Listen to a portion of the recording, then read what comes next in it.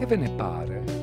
Un uomo aveva due figli. Si avvicinò al primo e gli disse, figliuolo, va a lavorare nella vigna oggi. Ed egli rispose, vado signore, ma non vi andò. Il padre si avvicinò al secondo e gli disse la stessa cosa. Egli rispose, non ne ho voglia.